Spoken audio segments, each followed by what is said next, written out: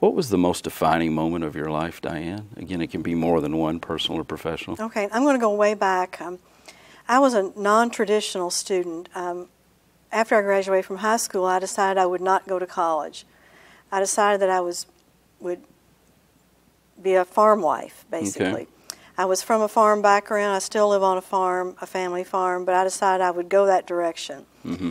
And it was in the mid 70s, and the farming was becoming very difficult. So we, we struggled. And I realized one day that something was going to have to change. So I decided to go back to school. Mm-hmm. And I started college at that point. I already had two children, and it was a, a big decision, but I was so determined that we were not going to lose the farm Mm-hmm.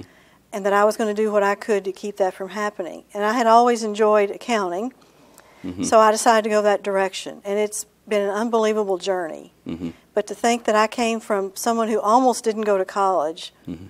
to where I am today, it's that's that's Yeah, what's remarkable. It is. Mm-hmm. What is the biggest professional triumph of your journey or life? And it could be personal as well. I would say that, that there are two. One, when John and I started our firm Sure. originally, and the second one was when we merged uh, with Mountjoy Bressler in 2010. Mm-hmm. To put this, these two firms together, we were almost the same size. Um, Mhm. as far as revenue, almost identical. And that just wasn't done. You didn't Right. merge two firms that were similar size. It was Sure. always an acquisition. So we talked about, realized we had the same vision. So overnight, we went from a firm of 110, 15 people Mhm. to 230, Bam. Yeah. and it it was um, it worked out well. It could have been a major challenge or a Sure, it major. could have. Yeah, so you weren't like Noah. You didn't end up with two of everything, or did you have that challenge? Or we no? we talked about Sure. the the Noah approach, but we Right. decided to do the best approach. So Okay. we literally sat down and worked through everything. That is great. What is the best piece of advice ever given to you, Diane? Again, it could be more than one, personal or professional. Okay, I would say the, the best piece. I'm a perfectionist. I'm, Mhm. I, as you can tell, I do strive for excellence, and when you do that, you can beat yourself up a lot. Oh yeah.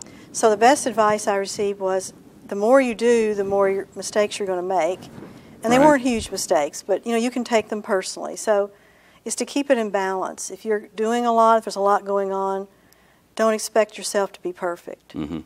and people don't expect you to be perfect.